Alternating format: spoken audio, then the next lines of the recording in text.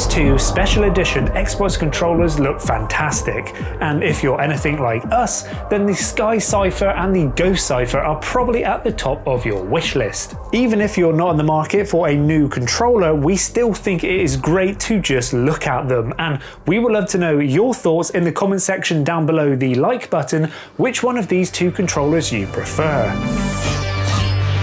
So this one, this is the Sky Cipher controller with its really nice deep dark blue transparent case. And this white one with its clear transparent case is called Ghost Cipher. Now just a word of warning, I'm going to be using the word identical quite a few times within this video. Starting off with the glaringly obvious, these two controllers are identical to every other standard Xbox controller. They have an identical shape, identical layout, and they do both feel fantastic in the hand and both have the same high quality build you'd expect from every other Microsoft product. And you might think that because they are transparent, then they might look or feel a bit toy-like, a bit cheap or a bit gimmicky. But we can confirm that none of this is true. Yes, both have this transparent case, but the plastic used is high quality and doesn't feel cheap in any way. The plastic on the front isn't super smooth, which you might assume at first glance. It actually has an ever so slight texture to it, which gives it a nice premium and quality feel. If you had your eyes closed and were handed a standard controller and one of these special edition transparent controllers, you really wouldn't be able to tell the difference as again, they just feel identical. The only difference between these and your standard Xbox controller is that unique and visual treat of now being able to see inside of the controller, which most people have probably never seen inside of before. But it's not only the front that's transparent, both of these controllers also have transparent sides, which actually has a textured grip, which really does help with grip. That's because the grip on the transparent sides matches the texture on the rear rubber section where your fingers sit. And yes, this section is rubberized, and what we really appreciate is the fact that you really cannot feel the difference between these two sections. It feels pretty much seamless. And this seam's position, again, is identical to the standard Xbox controller. But let's face it, there isn't really much to see within the side of the controller. It's basically just the inner plastic we get to see. You will notice though that both of them do have solid colours on the back, with the Ghost Cipher having the white and ash grey, and the Sky Cipher having a sky blue and a dark blue. Personally, we do feel that these solid colours aren't as cool looking as their transparent fronts and sides, but you never really see the back of a controller when you're using it or when it's laid down on a table or on display, so this really isn't a deal breaker for us. But these solid colours do lead us onto a few subtle differences between these controllers. The Sky Cypher one having its transparent blue case allows us to see a variety of different colours and tones from within, and this is the colour combination they have opted to use for everything on the controller. We can even see the shiny metallic frame inside of the controller, so starting with the circular D-pad, they've used this really nice looking metallic blue which shines and catches the light really well when we're moving it around. And this tonally matches the controller perfectly as it seems to pull out the shiny metallic frame from inside. And this metallic blue colour also matches the triggers on the back. But you will notice the bumper buttons are a dark blue, and both the triggers and bumpers share this textured grip.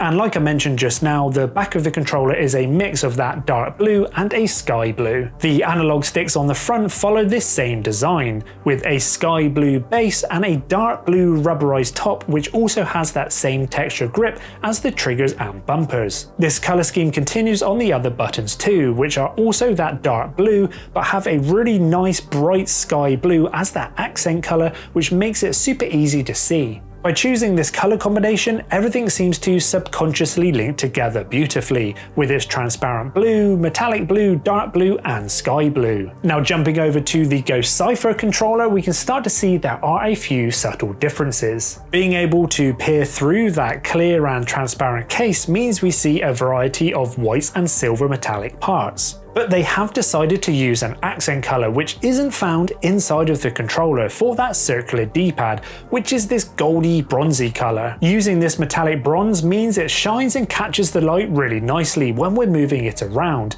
and this colour does seem to help elevate the controller slightly with that shine, and that hint of colour just makes it pop. If they just opted for a matching silver metallic colour for the D-pad, I just feel like it would be lost against the silver metallic on the inside, so I'm pleased they did something slightly different with this controller compared to the matching colours on the Sky Cipher one.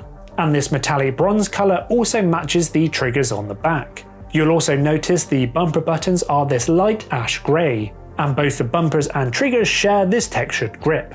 And again, the rear of the controller uses a solid white and that ash grey colour. The analog sticks on the front follow that rear colour design, with a plain white base and an ash grey rubberized top, which also has the same texture grip as the triggers and bumpers. That colour scheme continues on the other buttons too, which are also that ash grey colour, but have white as their accent colour, which makes it fairly easy to see.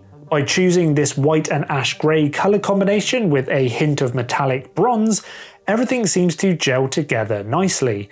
Even though that metallic bronze isn't a colour found within the controller, it just feels like a nice statement colour and just looks fantastic. So overall, both controllers follow an identical look, identical style, and identical layout with their transparent parts, solid colours, metallic sections.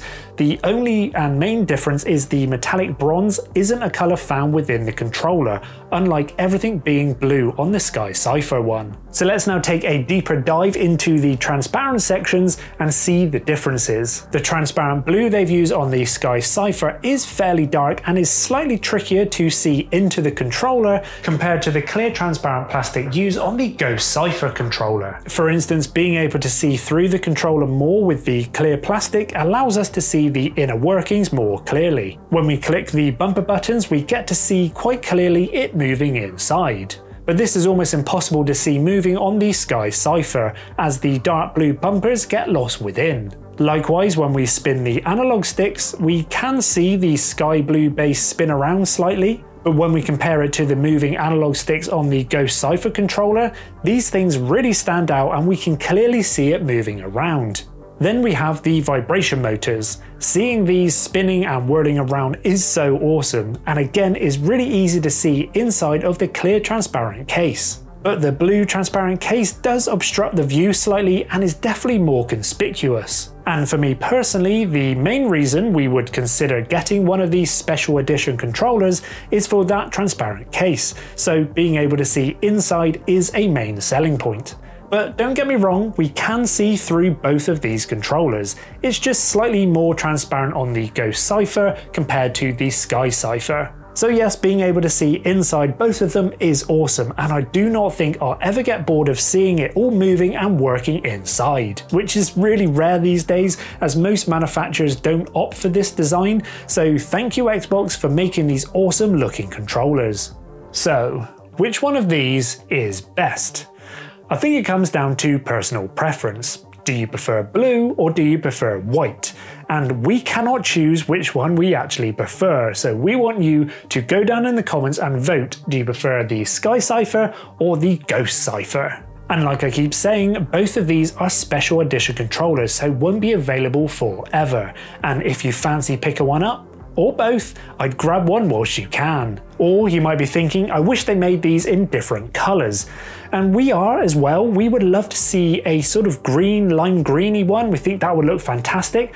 But what other colours would you like to see in this transparent design? But at the end of the day, we do think that both of these controllers are truly awesome, whether we are using them in our hands or just having them on a shelf as a display. And we do really hope that you've enjoyed looking at the subtle differences between these controllers. If you have a like would be really appreciated, and if you're not already, a subscribe would be awesome as well. And we think that you will like a couple of our other videos next.